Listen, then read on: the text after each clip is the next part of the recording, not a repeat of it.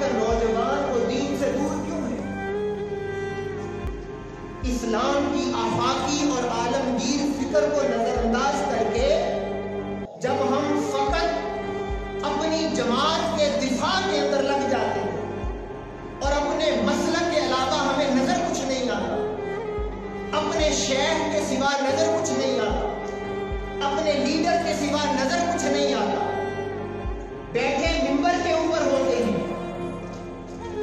मिंबर पर बैठकर इस्लाम की आफाकी और आलमगीर मिशन को, फ़िक्र को, नज़रिए को नजरअंदाज करके, बस अपनी जात का दिफा करते हैं अपनी जमात का दिफा करते हैं तो नतीजा तक जो आज का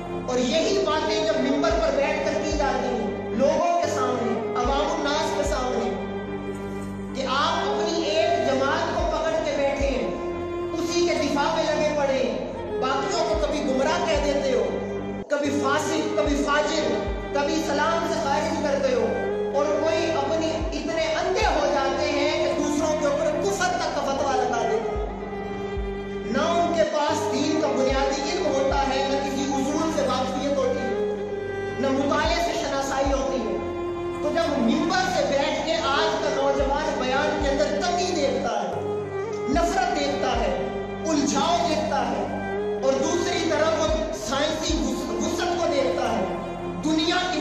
देखता है अकवाम आलम को देखता है। नतीजतन वो इस्लाम से दूर हो जाता है, कुरान से दूर होता है, हदीस से दूर होता है। क्यों? कि हम जो इस्लाम बयान कर रहे हैं, आज का नौजवान उसे एक तंग गली के अंदर बंद देखता है। आपके पास गुंजाइश ही नहीं है कि आप किसी दूसरे को कबूल कर सको, किसी दूसरे के साथ बैठकर मोहब्बत नतीजतन क्या हुआ? नतीजतन आज का नौजवान जो यूनिवर्सिटीज के अंदर जाता है, वो इस निज़ाम को देखकर, आपके बयान करदा तंग दीन को देखकर अब इस इस सारी गुफ्तगू को सुनने के बाद खुलासा तक मैंने आपके सामने रखी है। तफसीलात को बहुत भरी पड़ी एक तरफ़ ये सिस्टम चल रहा हो और दूसरी तरफ़ कुरान की इस आयत को सामने रखें इला सबील रब्बी का बिल हिकमत वल मौइज़ती अब आती है समझ के अल्लाह पाक ने ये क्यों फरमाया कि लोगों को दीन की तरफ़ बुलाना हो तो हिकमत का दामन नहीं छोड़ना। उम्दा नसीहत को पकड़ना। तब जाकर तुम लोगों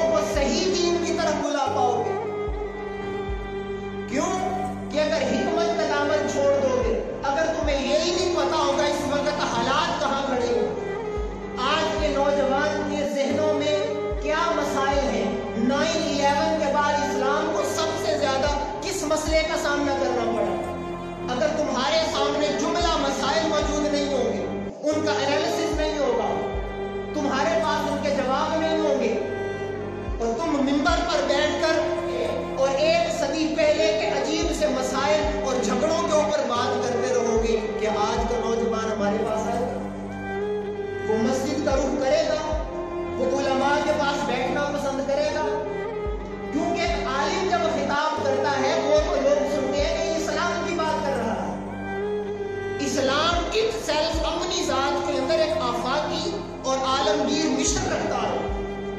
दीन एक कंप्लीट कोड ऑफ़ लाइफ है।